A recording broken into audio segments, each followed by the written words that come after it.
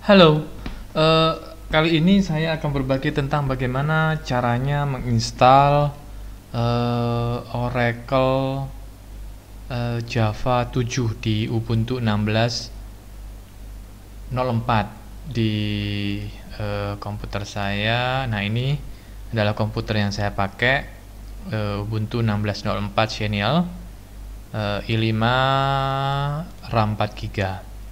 Oke, berikutnya saya sebenarnya hanya mengikuti tutorial di uh, internet. Saya hanya melakukan copy apt-get install default JRE. Oke, uh, saya paste di sini. Oke, uh, dia bilang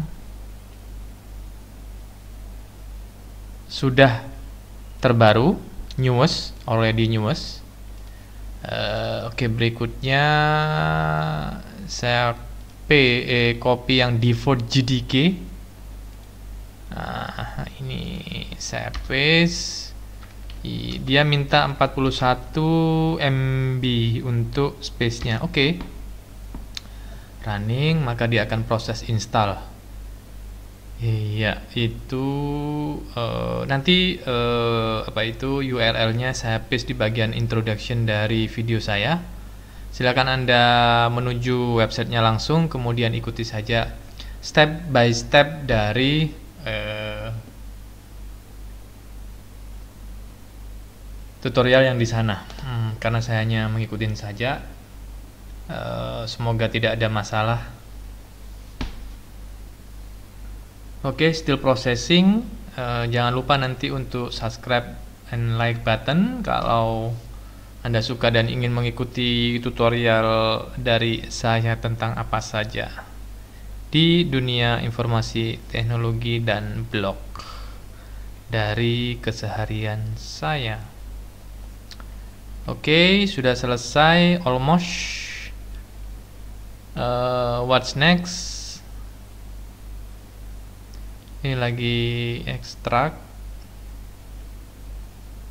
Oke okay, dan berikutnya adalah installing the Oracle JDK nah ini dimasukkan URL nya paste enter. Enter.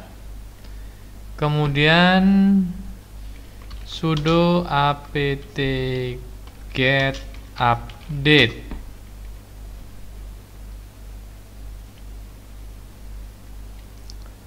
kemudian setelah update nanti baru install Oracle Java. Kalau mau 8 8 9 nah ini terserah anda mau mau anda mau pakai yang mau 8 atau 9 silahkan anda pilih Nah, di sini dijelaskan bahwa this the, this is the latest stable version of Java at time of writing. Uh, ini ditulis tanggal 2016 April 23. Sekarang 2017. Uh, saya belum tahu apakah saya memakai 9. Uh, sebentar, kita lihat dulu latest stable release uh, Java Java Oracle. Java 8 masih stable release. Kayaknya oke okay, kalau begitu saya akan memakai versi 8 saja. Kemudian paste yes. Oke. Okay. Oracle Binani License. Nah ini untuk kalau pakai mouse nggak bisa ya. Anda harus memakai tab untuk memindahkannya ke OK. Tapi sepertinya ini sudah terselect OK. Nah ini baru Anda bisa memakai tab. In order to install this package you must accept license. Oke okay, yes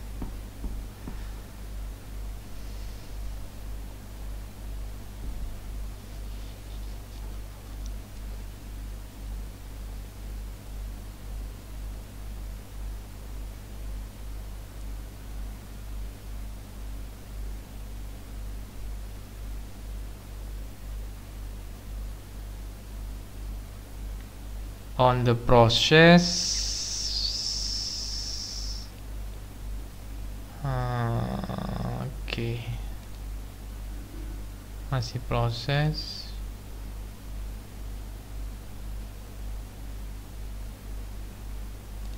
Oke okay, oke. Okay. nah ini dia lagi proses update. Nah ini size nya 181 M mega. Saya nggak tahu apakah ini cepat atau enggak uh, sebaiknya kalau nggak cepat nanti saya pause dulu videonya sampai uh, prosesnya komplit di 90-an oke saya pause dulu uh, supaya nggak wasting time. Oke uh, sepertinya dia sudah selesai proses downloadnya. On progress progress installing Ya. Oke, okay, dan uh, Oracle 8 sudah set by default, kemudian uh, proses instalasinya sudah selesai. Oke, okay, ini alamat URL-nya DigitalOcean. Nah, ini nanti saya copy aja linknya. Saya paste untuk teman-teman yang mungkin tinggal mau copy paste. Nah, Oke, okay. ya begitu caranya proses install instalasi uh, Java di 16.04 Ubuntu. Oke, okay, uh, terima kasih sudah menonton. Semoga ada manfaatnya. Sampai jumpa di video saya yang lain. And see ya and bye bye.